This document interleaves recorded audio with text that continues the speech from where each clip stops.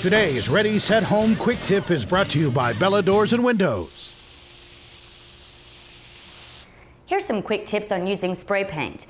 If you're painting a flat surface, you want to start at the side nearest you and work towards the opposite end.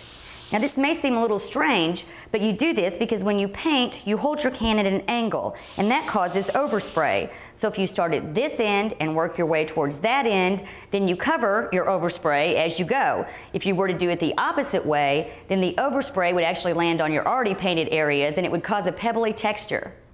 The easiest way to paint a chair is to flip it upside down and paint the rungs and the legs first, painting the inside surfaces and then the outside. Then all you have to do is flip it over and paint the back and the top.